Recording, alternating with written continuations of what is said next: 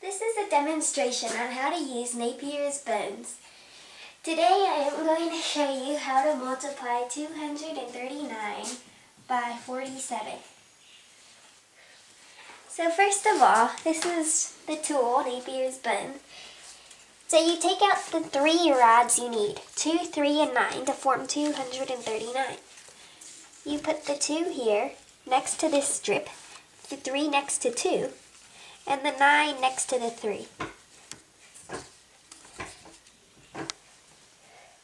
So, for the first step, you are going to do multiply 239 by 40. To do that, you go down to the 4. Then you go across.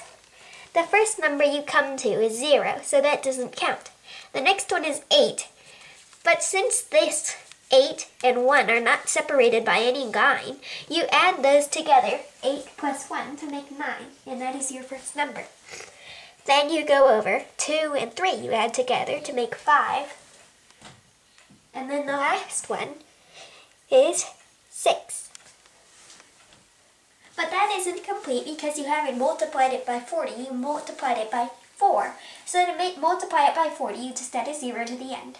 So your answer is 9,560.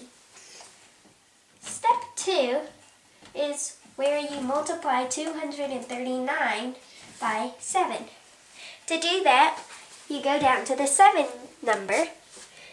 The first number you come to is 1. The second number you come to is 4, and you add that to 2 to make 6. After that, you get to 1 and 6, which is 7, and then 3. You do not have to add a 0 to the end of it because it is not a tens number. So your number is 1,673. Step 3 is where you get the answer. And in step 3, you, you add 9,560 to 1,673. And you get